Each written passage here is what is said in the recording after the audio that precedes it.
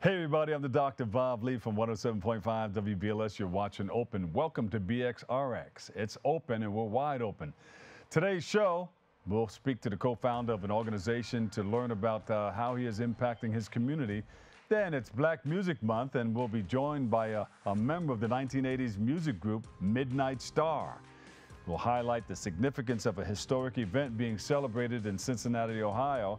Then after that, we'll check in with a friend of the show whose organization is celebrating a major milestone. And then finally, we'll sit down with a Navy veteran, an author, and philanthropist whose book was the number one best-selling autobiography on Amazon. So stay tuned. All of this and more is headed your way because we are wide open. Here we go.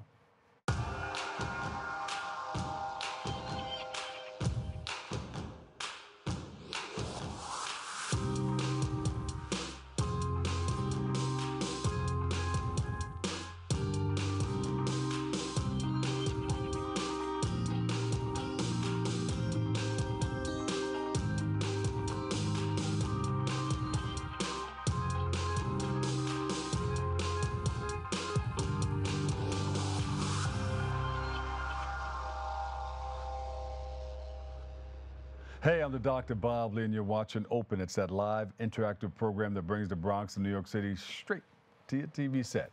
You can stay connected to us through social media at BronxNet TV. Leading things off, our first guest is a music artist, an actor, a film TV producer, and a humanitarian.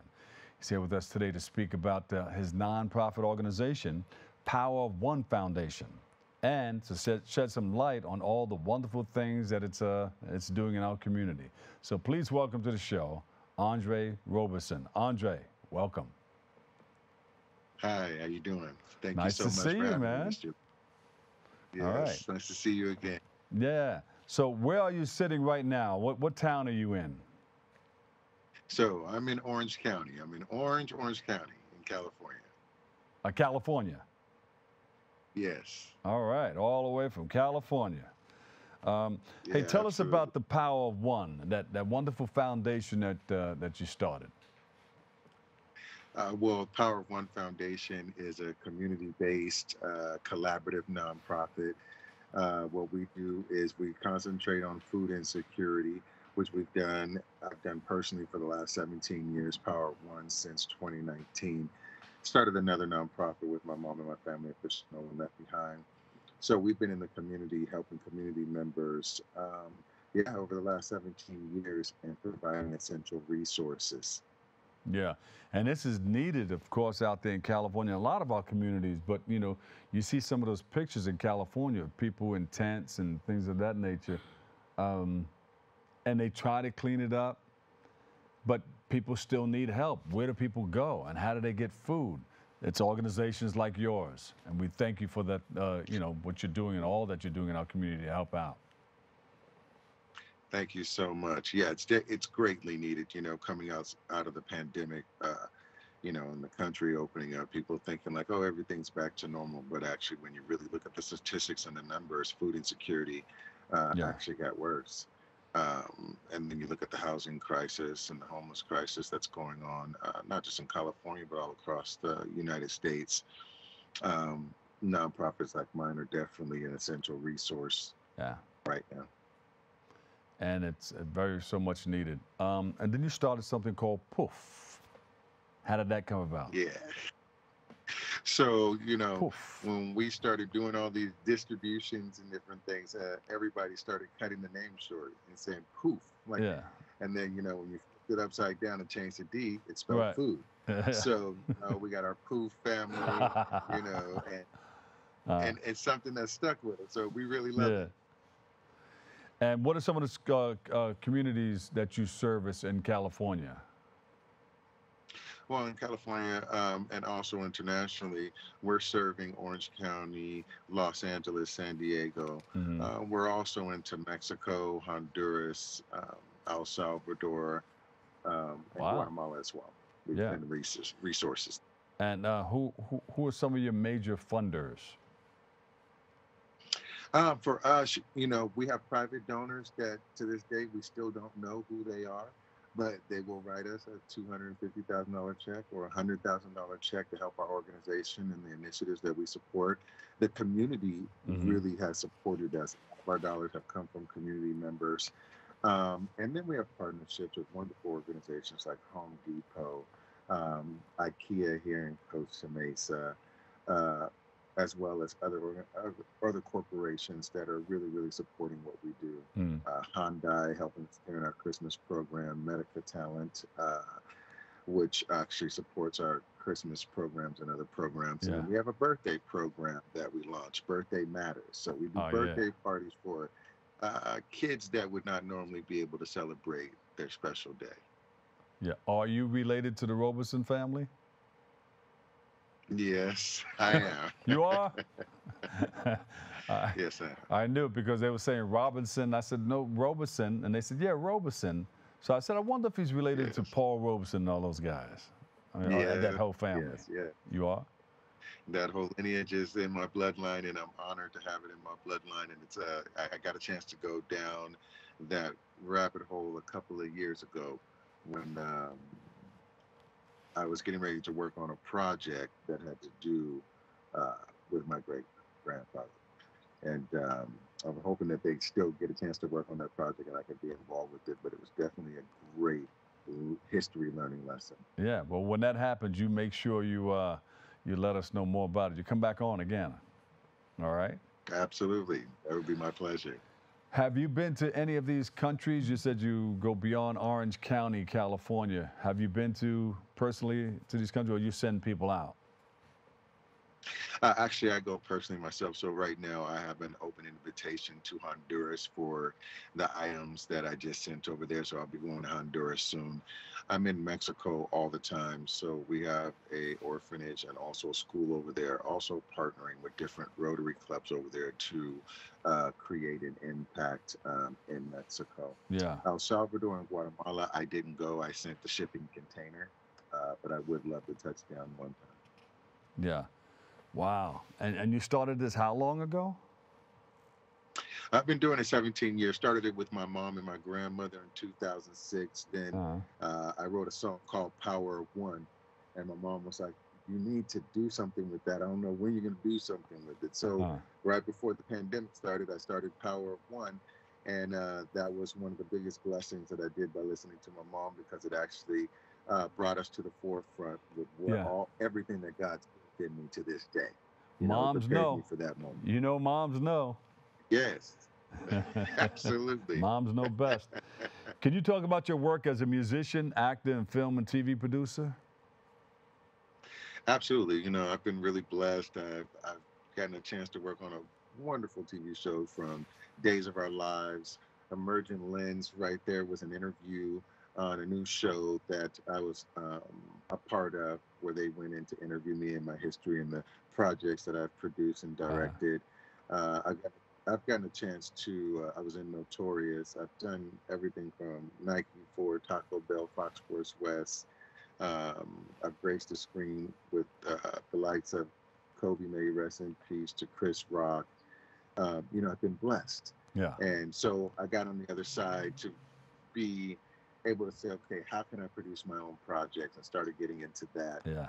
Music wise, um, I've always been bitten by that bug. Released uh, two albums under Warner Media, and now uh, we're doing it through uh, Power of One Records this time through Sony. Uh, the Orchard just released my single, My Lady, which I'm really excited about. It's getting a good buzz about it.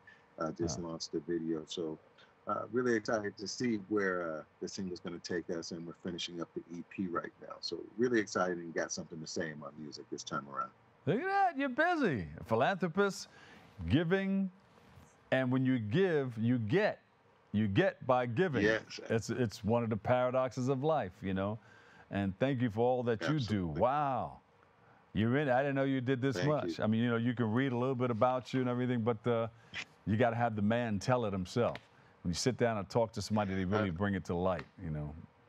So Absolutely. No, this is my passion. so these these albums are out and the film Yeah, so under they're under LaFell. Yeah, yeah. Look at my my first two albums were more like singing albums. These latest albums I've been doing uh, have a have a little bit more uh, rap and singing vocals into it. So I took my style and just blended it in because a lot of people tell me like, "Man, you rap really good. Why don't you do some?" Wait, rap you're a rapper too?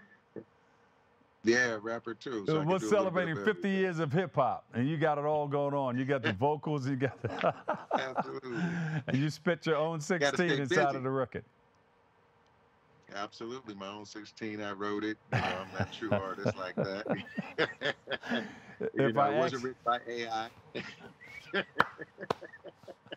if I ask you to spit 16, you can do it. Oh man, that's what I do. I can go. All right, here we go. Dome, A but, one, You know, a two, uh, a one, two, three, four. I got to take and spit 16 from the top of the dome. I'm with Dr. Bob Lee. We take we hitting different territories. I spend my life giving back. I gotta take it. I can't hold back. I'm headed to the top. Gotta feed my soul. Gotta give it to the world. Let them know this is where I'm coming from. God, He gave me a mission. I gotta complete. I know that I can't stop. I gotta move my feet. It's like the footprints in the sand. I can't try to be the man. I give my 10%, my tithe back. I can't hold back. And no, I never lack. The knowledge keeps me going forward. So I strive, I strive, I get on. And oh, There you go. Andre rapping off the top of the the dome, morning making his living on the microphone. All right. and that's my contribution. that's Hey, good. That's good. That's good. So the film stuff, what's the next film project? Um, the next film project I'm working on is really the Power of One documentary because, Uh, you know, we got a chance to feed um, 3 million people in one year during uh, the pandemic. And Yeah. that was life changing for us. And we documented it all. Yeah. So for us, it's really um, going in to finish this documentary to show people the power of one, the power of what one person can do, the power of what one Yeah. body can do.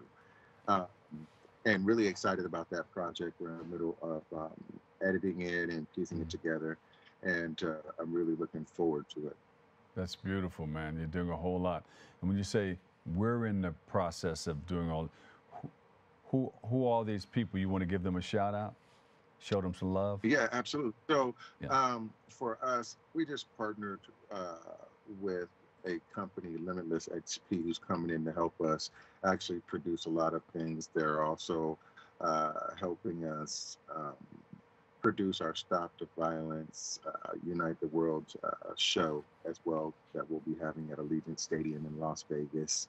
But they're coming in to help us produce this and, and make sure that the story can be told the right way and they're a wonderful company out of New York uh, that we're looking looking forward to uh, collaborating with, and we'll be making some trips to New York. uh, Beautiful. so hopefully, I'll be able to see you when I'm there. Great. Where can we find you on the internet or social media? I'm on all the social media platforms, everywhere from Facebook, Instagram to TikTok, under the fell. Um, and uh, yeah, you can follow me, and then also got our website, Power One Foundation, underthefell.com. Um, yeah, and we got all the current events there, and and uh, come out and volunteer with us. We would love to have you know, Andre any and everybody LaFell from the community. Robinson, actor and co founder. Power of One. Woo. All you need is one. One God. That's God it. is Just good. one. Thank you, Andre. Thank you so much. Thank you for having me. Appreciate you. You got it. And we'll see you again. Good luck in everything that you're doing, man. Thank you. You got it. We'll take a break. I've got more coming up next.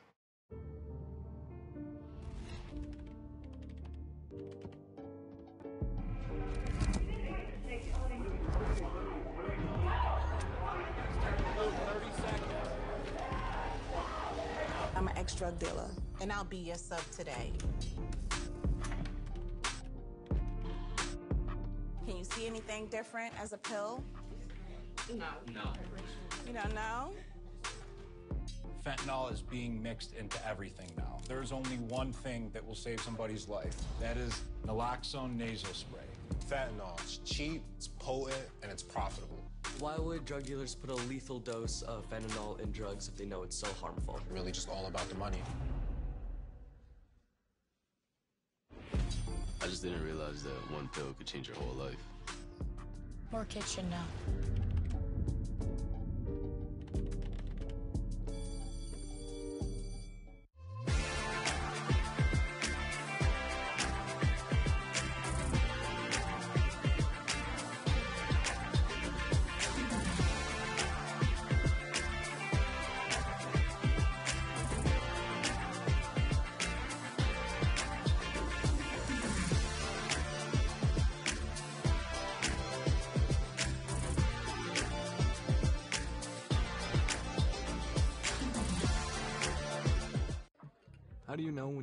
Right decision? It's the feeling you get in your gut. The one that tells you what's right or wrong. It's the one that says, sure, I can have a drink. Or the feeling that says, okay, I've been drinking. Now what? It's the voice inside you that says, I'm buzzed. Better leave the car when it's time to go. Plan ahead. Catch a sober ride. Buzz driving is drunk driving.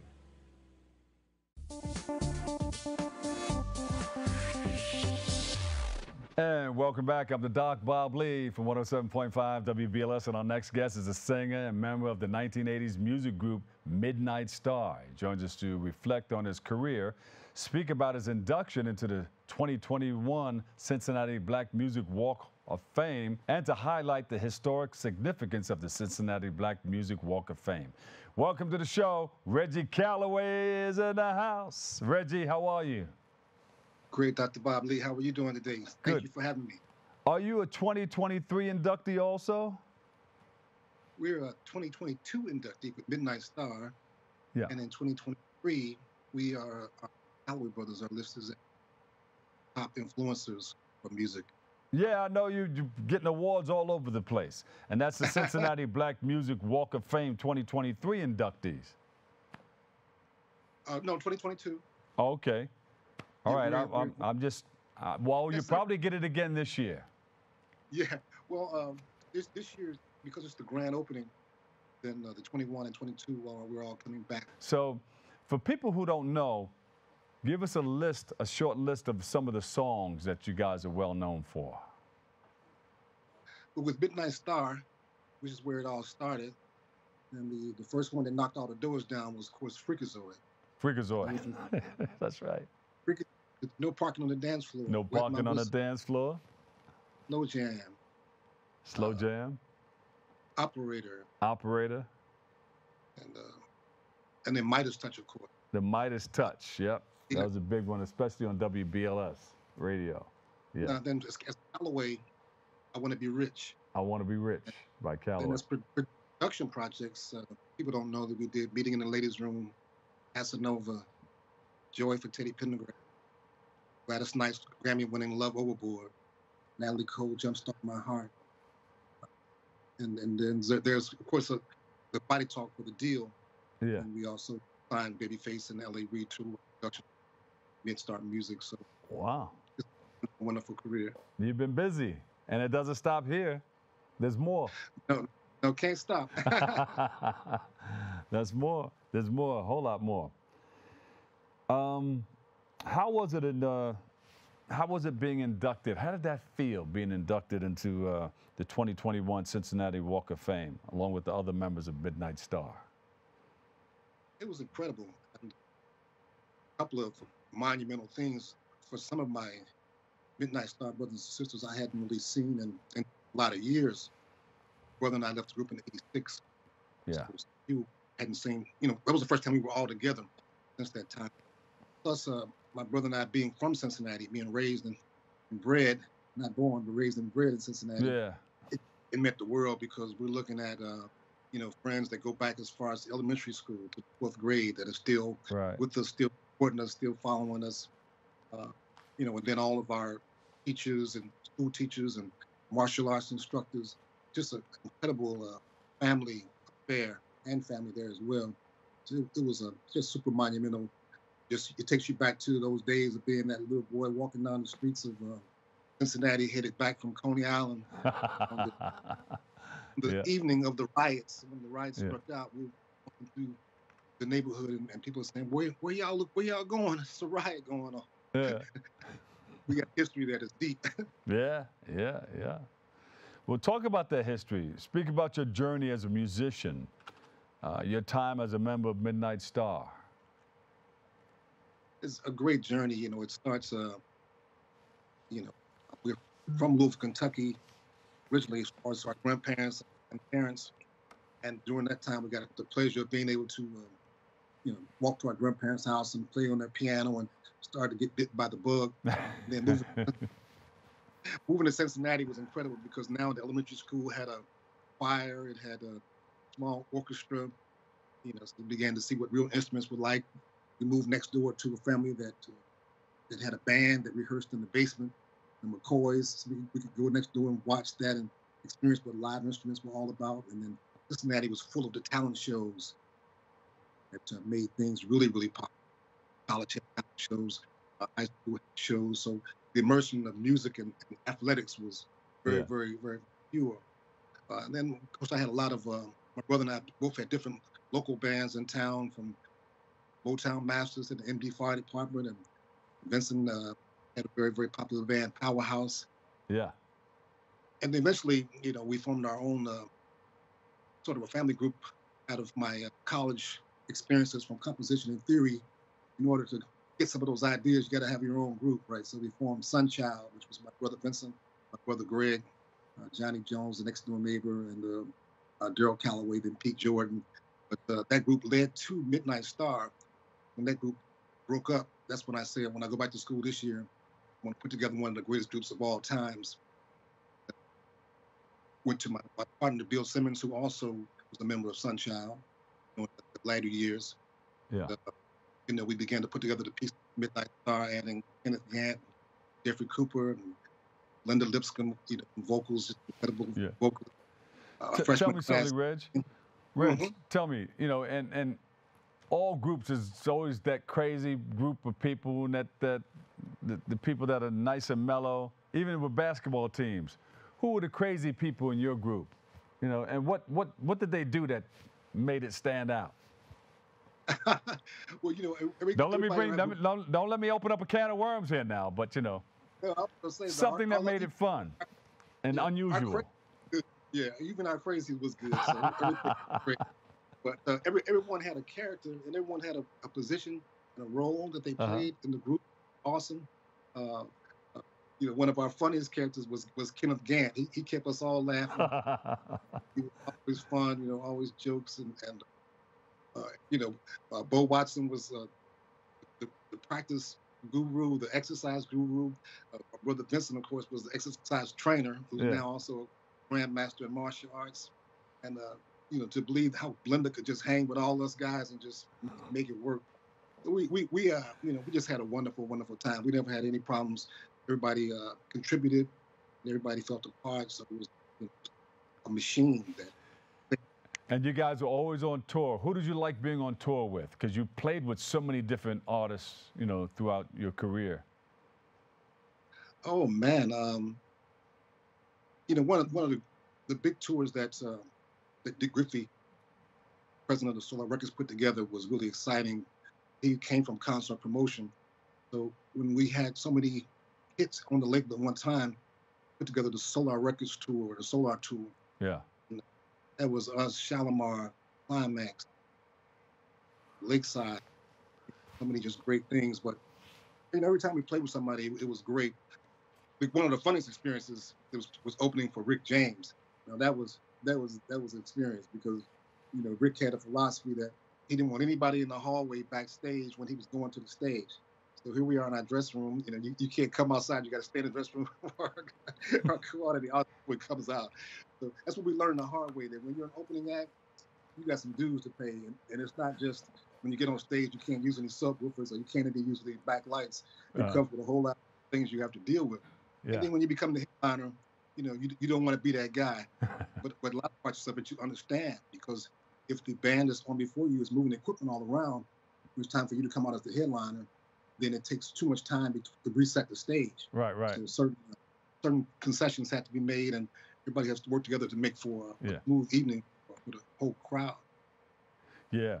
Hey, before we uh, go, they're going to give me uh, about another minute and a half, two minutes. Uh, talk about the Black Music Walk of Fame. How important is that in your life? And uh, tell us, you know, how you got involved. Yes, you know, just uh, it's so great to to be recognized. You know, we have lots of goals. Uh, the Black Music Walk of Fame came along, we were, and we were just cheering it on. You know, Commissioner Mhm. Reece has done a great job to assemble and pull together the state and city and make it all happen. But what it means is that you know Cincinnati and that whole area, there's so much talent uh, between Bootsy Collins, Ruben Longmire, greats that have come out of there, you know, and they're nearby. We'll be stretching out to Cleveland with the O'Jays. You know, just so much great talent.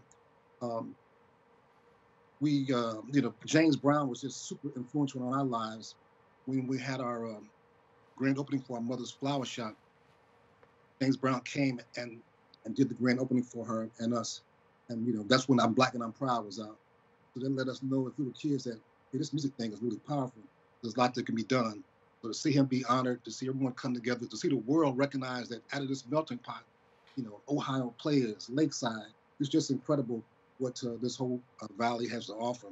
And uh, we're just part, uh, great to be part of it. You know, the land of funk is a land of funk, and we've all got together and created new sounds, new waves, and the, the whole deal led me on right now to also doing specialty finance. So if you um, if you're an artist and you're making royalties, we're here to help you with our company Sound Royalties.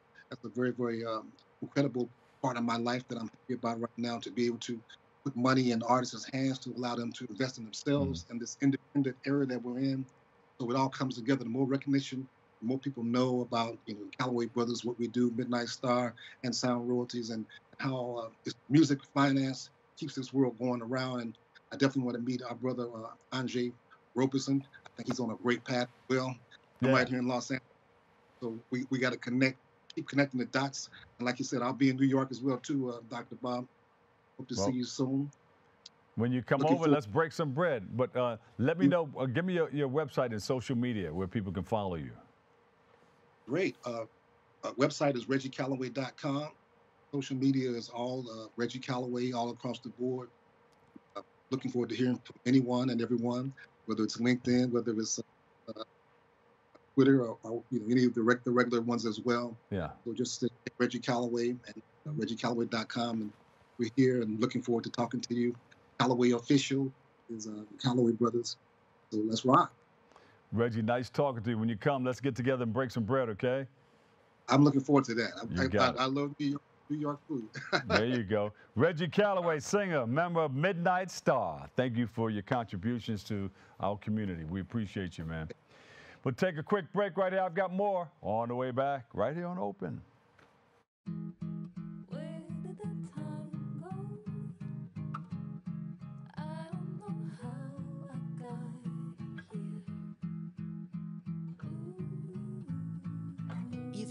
Hard part. You quit smoking. Now do the easy part and get scanned for lung cancer. If you smoked, you may still be at risk, but early detection could save your life. Talk to your doctor and learn more at savedbythescan.org. Is it time yet? It's time. Oh, terrific.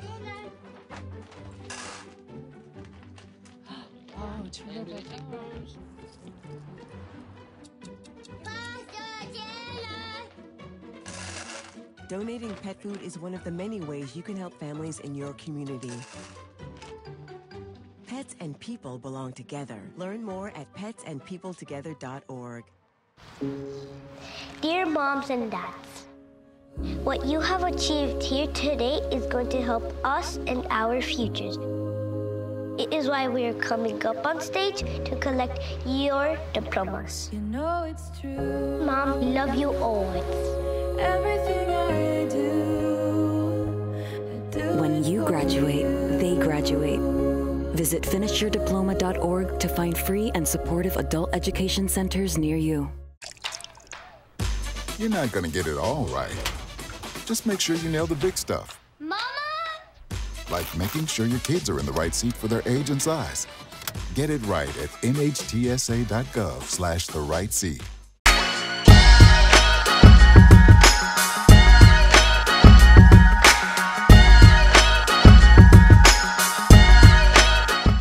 And welcome back. Welcome and thank you for tuning in and checking it all out. We really, really appreciate you.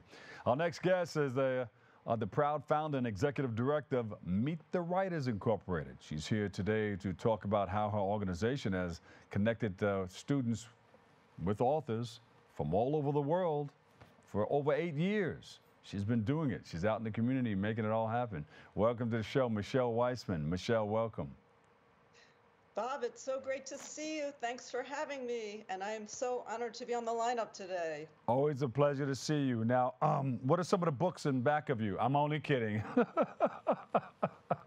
have an hour? Do you have a day? A week? Just give me two. In fact, I've read them all, so I'm happy to tell you about them. but Michelle, tell us, you know, we always want to find out about Meet the Writers. Tell us a little bit about it.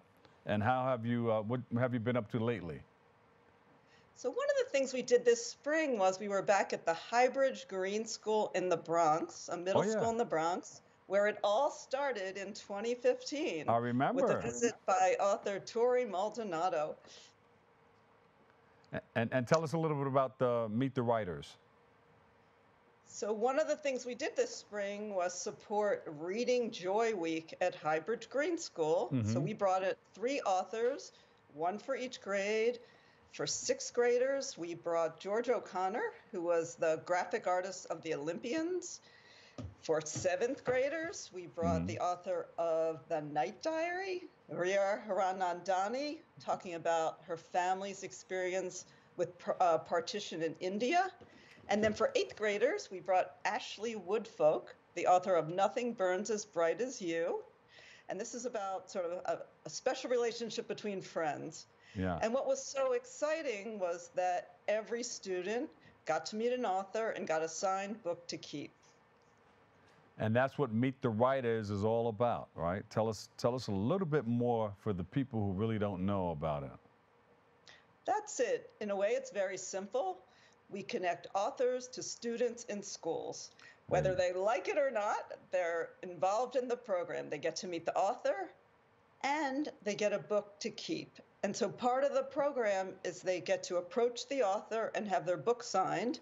Mm-hmm. And sometimes the conversation is simple, like, I love your book. How many books have you written? But also, it's very profound. Kids say, I love this book because I've never seen a character like me before in a book, and I see myself in this book. Yeah. And sometimes the author might say to a kid, I love your hair. And I feel like those are very impactful moments. Like you see that the kid's like, the author loved my hair. Like it just, it all feels very important. Yeah. So I feel like it's about empathy, seeing characters, and about identity. And so I- I think the program is about both of those things. Yeah, and you went back to your original, the original school where you started, but the Meet the Writers has come a long way in helping to foster a love for reading in our communities, and especially our, our public schools. You know, how do you see it? How, how far has it gone? How, how do you, from once you first started to now, what, what do you see how, how it has helped a whole lot of people? I do, and it's kind of incredible. I feel like the time adds up. We started with this, let's try this, you know, one author at one school in the Bronx. Now we've reached over 45,000 students, and we've given away over 25,000 signed books. And I feel like the numbers are powerful to me, and I just want to be around, you know, eight more years and sort of double and quadruple that. I Yeah. mean, I it's been incredible. So uh, I always say to a school, let's do one author visit. Let's try it out. And that's the best, you know, sell or experience to expand the program in a school. Yeah. So maybe we bring an author to one grade and then it expands to bring an author to kids in every grade. And now you've latched on to the National Ambassadors for Children's Literature. You partnered with them, um, and you're going to visit the Brooklyn Children's Museum, the Green School. You're going to do that again? How big is that for students to see that and to be a part of that? I mean, it's it's been, I think, very powerful for students. What's interesting to me is I've been I've met students in middle school, and we've been doing this long enough that I then see the kids in high school. Like I saw a girl, you know, bring the, her signed book from middle school to show poet Nikki Grimes when she met her at her high school, and so that that's Mhm. very powerful. I, I see that kids connect these experiences, or they'll say to their younger siblings, Oh, it's so exciting. We just met this author. Just wait a few years and you'll meet this author too. I mean, once we work with a school, often a kid who may not have books of their own in their house and certainly not signed to them, you know, get this growing stack of books that are theirs. And it's it's been very powerful to see that. I mean, I, I think it resonates with kids. I think when we ask kids where do books come from, they might say the bookstore or the library, but then they see that people who look like them or their parents or their cousins they're writing these books. Yeah. They're editing these books. They're they're illustrating these books, and it's like, oh, I could do that too, and Yeah. I, I think that's been very powerful. And One of the things. Go ahead. Go ahead. Go ahead. Finish. Finish. I guess I was going to say one of the things we did this year is, in addition to bringing authors to meet students, we're bringing authors to meet teachers who are then affecting students' lives. And so I think you had a picture of Sonia Manzano, who I think a lot of people know as Maria on Sesame Street. We were able to connect her through the New York City Public Schools Literacy Collaborative to teachers and coaches in uh, kindergarten to 12th grade. And I feel like that was powerful in a different way because then they could meet Sonia and learn about her journey from being a kid in the South Bronx to becoming this acclaimed actor, author, and speaker. And sort of hearing her story, I think they could bring back and talk to kids at their schools. So that was another way I feel like that we are impacting kids. Yeah, I think it's a wonderful thing. Kids go on to become collectors of these wonderful books, and then they get a chance to meet the artist up close and personal and get a signed autograph copy of the book. And then when they get a little older, they can say, hey, look, this is my, this is my wonderful book collection. You know, I want to thank you guys. Uh, do you have any upcoming events that, would, that we should know about? You know, I have to say the summer is a little slow. We're, slow. We're kind of wrapping up for the school year. Yeah. We're going to do a few events with an, another amazing organization called Read Alliance that takes teens in a community and partners them with kindergarten and second graders. And so we're doing events to bring an author to the connect authors to the teens and Yeah. also to the K to second grade youth. So I'm excited about that this summer. And then in the fall, we're going to actually, as one of our programs, we're going to help launch author Renee Watson, who is also kind of a Harlem uh, personality and amazing author. Yeah. She, we're going to help launch her a book in one of her series. So that's exciting. Some of the things we have on tap for this uh, for next school year. Michelle, where can we go to find out more about uh, uh, all all that you're doing? Because you know you got parents, students, teachers. The whole community wants to know more about what you're doing, so we can follow and uh, and find out what it's all about. Because we have to continue to read throughout the summer. Maybe we should do a Absolutely. I reading contest. Stack of to be read. Yes, I have a to be read list. I'm reading a book called Mascot Yeah. by Charles Waters and Traci Sorell. I'm reading a book called Sunshine by Jarrett Krosoczka. I have lots of books on my to be to be read look Yeah. list. Do you I'd have that on your website?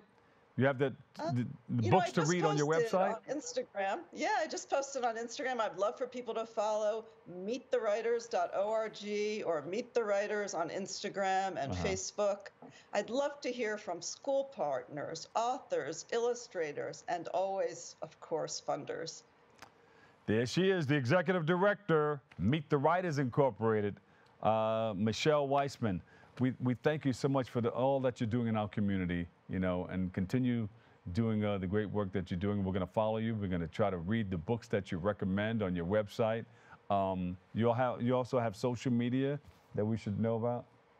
Yeah, we're on Instagram mo- mostly, a little bit on Facebook. I'd love to hear from people. Bob, it's always such an honor to be on the show. I, I really appreciate it. Well, you're always welcome to come back and share, okay? Continue to read, read, read, read. It's important. Of course. All right. Michelle, thank you so much. Thank you so much, Bob. All right. We'll take another break right here. We'll come back. I've got a little bit more right here on Open.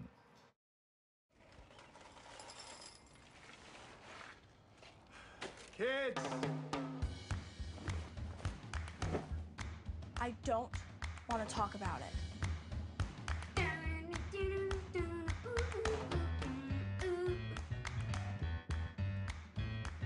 I don't want to talk about it.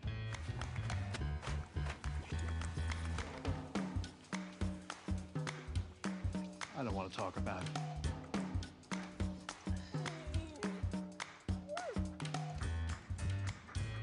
I don't want to talk about it.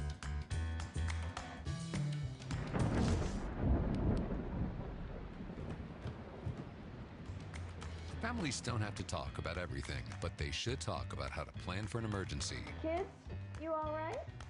This family's prepared. Get tips and resources to make your family's emergency plan. Go to nyc.gov slash readyny or call 311 for more information.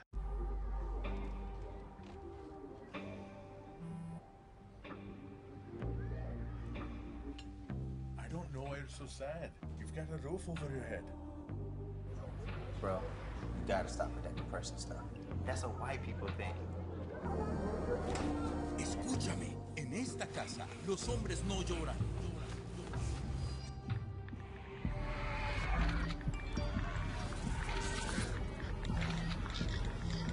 You alright? It just feels like it's coming from everywhere. Do you want to talk about it? Thanks for hearing me out, bro. Appreciate it. You can talk to me if you're feeling sad.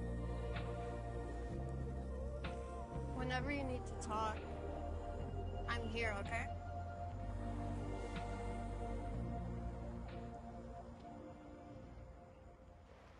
And welcome back. You know, our next guest is a he's a military veteran. Thank you for your service. We thank him for his service all the time.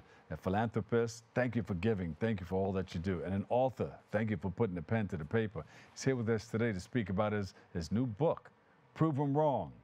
We're going to keep it new for a little while so we can make some money from it because people need to know about it. He has an autobiography reflecting on his immigrant journey from Jamaica to the United States, his struggles, his triumphs, his role as a father. Please welcome to the show Andrew Minott. Andrew, welcome. Thank you. Thank you. Thank man. you. Thank you Nice to see me. you. Appreciate it. Thanks. Yeah, yeah, yeah. You. So you, you, thank you for your military service. You've been in the Navy. Yes. Um, tell us about that whole experience in it, coming out of it, and then how did you get it all started?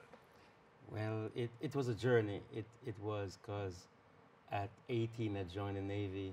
Yeah. Um, been through boot camp, the whole situation. Got stationed in an aircraft carrier, and first assignment was the Persian Gulf. Oh. You know, and During the Gulf War. yeah, during the first Gulf War, like a lot of people don't know, but when the USS Stark got hit by the Exocet missile by the Iraqis, at the time the US and Iraq were allies. Yeah. And we were the first aircraft carrier out there to assist. Yeah. We were on our way to Africa and we got diverted to go there and assist them with a bunch of sailors got killed and everything else. And then later on, on that same time frame, an Iranian, um, the silkworms that they had, they mislocked one of our ships.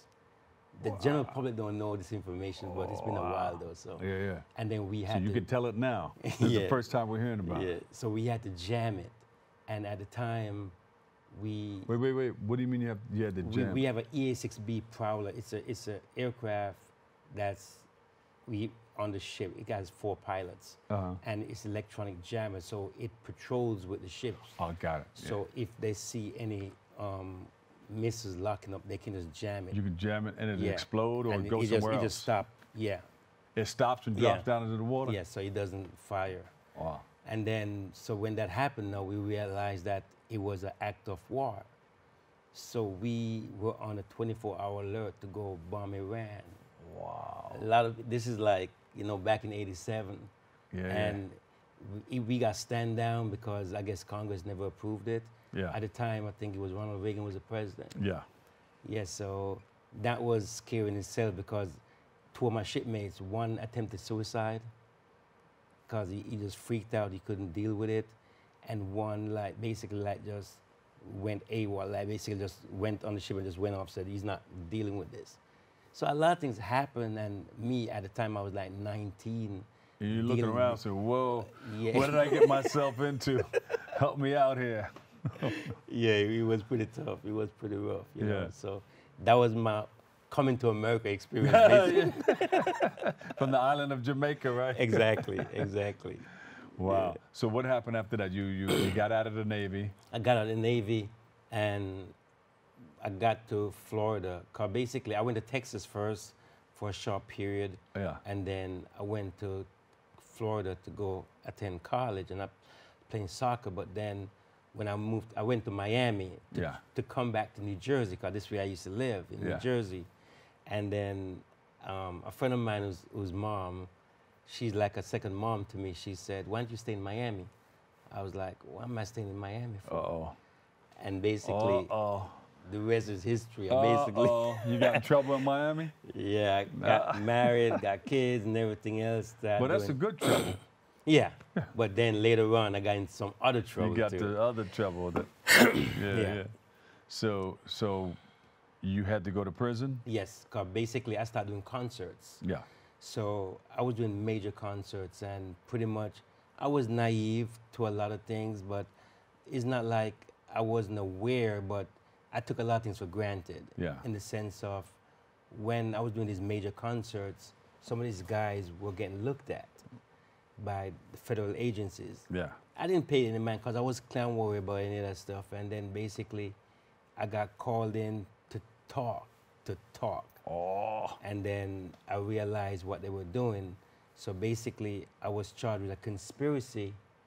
So because I know information and then so on and so forth, other people talked and Yeah. basically snitched on me, said I knew this and that. Yeah. And wow. then basically they were offering me to like work for them. I said, I can't do that. Whoa. I said, I, I couldn't, I said, I couldn't do that. So I so told. you was like caught in the middle somewhere. in the middle. Yeah. And I remember meeting with the prosecutor and she, she said to me, and this is the crazy part, she said, I know you're not involved with this, but I know you know who is. Oh, So shit. if you're willing, if you're not willing to help us, you're willing to go down for them. Yeah. And I said, I'd rather do 10 years, but I'm not going to do that. I, I can't. I said, my life means more to me Yeah. than what you're saying. So they, they fight dirty and everything else. So I just basically um, took, took a plea. Yeah. Um, my sentence was 30 months, and I basically went to prison. Yeah. You know? And is it that that's the time where you had the time to sit back and say, hey, you know, I need to do something when I come out? Yes. And you that's you started planning? Yeah, I started basically because when I was there, I was like, my life is over. I said, Yeah, yeah. man, my life is over. What am I going to do? And then I left my two sons. They were pretty young at the time. Yeah. And I had another son that was just born. He was maybe two years old. And so I went away and I'm like, what am I getting into my life? And I, I'm, I'm totally in a depressed mode at this point. Yeah. So now survival mode kicks in. So I'm like, I gotta decide and then figure this out because Mhm. I gotta do this for my sons. I gotta do this for my kids. So after I came out, I was at a halfway house and I couldn't really move around like that. And then pretty much, come. my son didn't know what happened to me. So when I came back home, I told them and I break everything down to them, and they, you know, they understood for They the most understood it. part. They understood. And they, you know, and then I, I vowed that I, I will not leave them again. So basically, I start being very skeptical of people I hang around with, Yeah. friends I keep, so on and so forth. Yeah. You know, so basically, my life came around full circle then, and basically, I just got out of it. So that was it. Then you said, when did you decide to put the pen to the paper? basically, um, I was working with my cousin Sugar Minott, a, a very popular um, reggae artist. Yeah. And we were talking about a lot of things and the, his journey and Uh. the things he did. Like he discovered musical youth, a lot of things he did. And I said, why don't you write a book? So after convincing him, he finally decided to, but then he passed away back in 2010. So then years later, I met Mr. Angelo Ellerbee. Oh yeah. Yeah, and then he, I was in conversation with him. He said, "Why don't you write a book?" I said, "No, I'm not. That's, not that's not me. I'm not going to do that." And he pushed and pushed and convinced Angelo me. does that. I know Angelo. he does that. Big up to Angelo Ellie. Angelo Ellerbee. Yeah. That's the man right there. Yeah. He handles a lot of people. Dionne Warwick, a lot, bunch a of people. So he pushed you into moving into the, the Yeah. next phase So- of your life. Yeah, exactly. And then while I was talking to Mr. Kevin Taylor, I was very because I've always been behind the scenes type of guy. Yeah. And he's, I'm talking to him, and he's like, "Look, if you're gonna make this happen, you gotta be open and honest." Yeah. Because I was very apprehensive. I was like, I didn't really want to do this. I'm like, why am I doing this? So even after I finished writing it, I sat on it for like six months.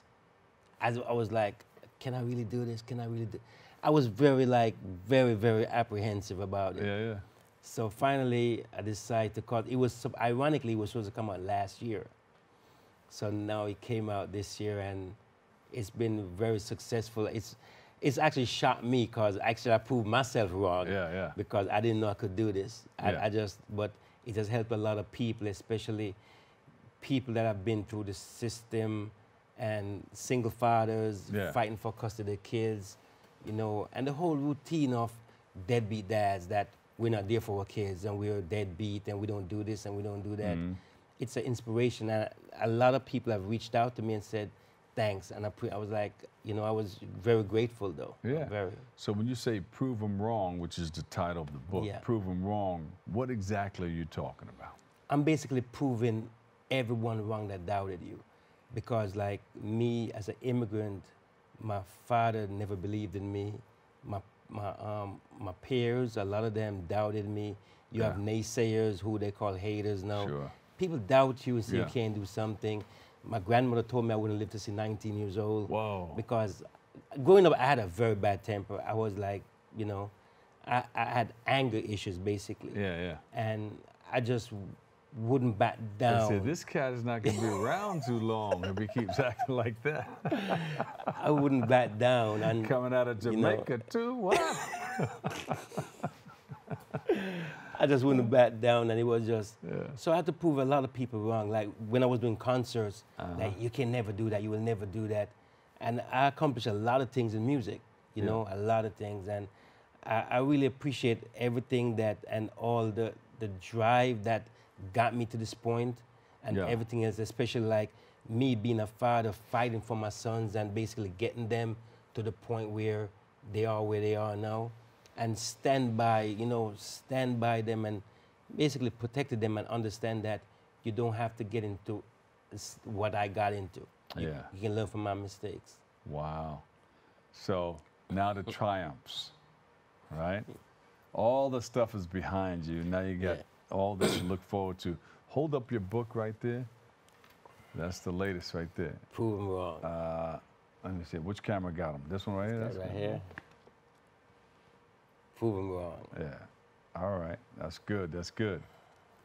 That's good. And a lot of people picking up, picking it up, right? Yeah, you know, I'm available on Amazon. Amazon. So it's on Amazon. So Yeah. I've been, you know, promoting this and pushing this, and the response is really Uh-huh. good. And I have a book signing on Wednesday at Ashford and Simpson's Sugar Bar in New Oh, yeah? York. Yes. Oh, all right. On Wednesday. So I have, uh, we have open bar. You know, gonna meet and greet, Uh-huh. sign some books. That's Yeah. beautiful. And you know, you got this going on, you got the books and all that, but your kids are doing some things too. Yes. Tell me about it. Um, like my my son, like he joined the Navy also, and Oh, all right. he got He's out. following of- dad's footsteps. Yes, and he got out. Um, my other son is into promotions, Mhm. like I did too. My nephew that I raised, basically, he got drafted in the NBA. Whoa! but whoa for all of them. Is that look? Is old enough? Yeah, Josh. Yeah. Yeah, he played for the Josh. He plays for the Minnesota Timberwolves. Yeah, yeah, yeah. you know. All right. Good, good. Yeah, so basically, he went to Memphis one year. He was a one and done, basically. Yeah, yeah. And I, yeah. Well, tell him to uh, buy a, you know, make your book a number one. Tell him to buy a. I know, I know. I got, I got to talk to him about Yeah. that, right? Say, hey man, I need you to buy about 200 books. You know. buy, buy a thousand books. Yeah, you buy a thousand books and give them out give to them the out, you know, yeah, nonprofit organizations, Yeah, exactly, schools. exactly, Yeah. exactly. That's, you know, and there's another kid that I adopted, Uh-huh. Youssef. Yeah. He's at University of Yale. All right. Yeah. he's a junior now. He's gonna be graduating. Um, he also plays basketball too, Uh-huh. so he has a chance to even play pro overseas. Good, good, good. so good. there's a lot of things that like help to mold these young men. You came a long way, man. I know, man. You came a long way. Proving them getting wrong, bombed right? out, getting bombed in the middle of the ocean, in the Navy, and then coming out and messing messing around and having to do a bid and jumping out and getting into Know. depre- dep- depression and everything. You know, Yeah. depression within itself is big. You know, funny enough, when I, out of that. when I went to Australia, there was a shirt way back in said, "Been there, done that." Been there, done that. You know, and Yeah. it it became a big thing afterwards. Like, been there, done that. So I tell everybody, man, I've been there, done that. Yeah, yeah. You know, What's in that book that you think um, will highlight or a tip that will be inspiring to the, youngsters that, that want to pick up your book too? Basically, the road to success is never easy. A lot of people can tell you when you talk about all the other people that went through the roads and the Tyler Perry living in his car and everybody else. Yeah, I've, I've been around artists like nowadays, like DJ Khaled. I knew him when he didn't even have a car. Right, right. But Khaled is a, is a grinder. He grinds a lot. he Oh, works man. hard. I remember when Pitbull was the same way. I knew all these guys from back in Miami. Yeah, yeah. And you know, one of the first shows that um, big shows that Cali was on was on my show. I was the first promoter to bring Sean Paul to the U.S. Whoa. You know, so a lot of things I did, and basically people tell me that I couldn't do it. Right, right. So the inspiration in this book is like that someone can read it and say, you know what, if I can do it, you can do it too. Yeah. If you if your mind can believe it, your body can achieve it. Yes. You know, yes. it's just a matter of don't let the naysayers say you can't do something. You can always figure it out. It's it may not be easy, Yeah. but it'll be worth it. You know, so that's basically what it is. So you, you you have another one behind this one, or you're gonna just Yeah. let me work this one right here? Then uh, yes, sir. Yes, sir. Yes, sir. part two Yes, and number two coming out. Hey, everybody keeps saying that. Hey, who knows? you never know. Who It- knows? It, may be a thought. It may be just a thought right now until you pull it out of the brain. I know. And take the pen and put it to the paper. I know. Maybe I can hit a 50 Cent and do a TV series on it. That's good. So your next book signing is where again? At In the, hall? Sugar Bar. At the Sugar Bar. Yes, right next to Central Park. Yeah, yeah. At the Sugar Bar this Wednesday, 7 o'clock, from 7 to 9 p.m. Okay, good, good. All right. Seven to 7 to 9 nine. p.m. Yes, sir. Get out there, sign up a bunch of books. And Yes, uh, sir. Social media. Social media, you can find me on Instagram, um, Drew Minott, on Twitter, Facebook, Yeah. Andrew Minott, and my website, anchorminot.com. Yeah. And you can also go there. You see upcoming events, what I'm doing, everything that's going on, and so on and so forth. Prove them wrong. Prove them wrong, man. Appreciate it. Thank you. Thank you, Andrew Minott, uh, author of Them Wrong, Navy vet. Thank you for your service Thank again. you. And thank you for all you're doing and helping other people get what they need out of life. Thank you. You're Appreciate also it. a music promoter. Thank you. Yes, big sir. time, big yes, time. Sir. All right. Yes, sir. Unfortunately, that's all the time we have for today's show. We want to thank our guests for joining us, you, our viewers, for tuning in and checking it all out. You can follow us on BronxNet TV for continued coverage, and uh, we want to thank you for letting us share in this space and time with you. Join Kevin Aline, Darren Jaime, and Rena Valentine on Tuesday, Wednesday, and Friday for the all new episodes of Open. And I'll see you over 107.5 WBLS. Always remember this what you are is God's gift to you. What you make of yourself is your gift to God. So choose your choice. and Let your choice control the chooser of the Dr. Bob Lee. I love you all. Peace.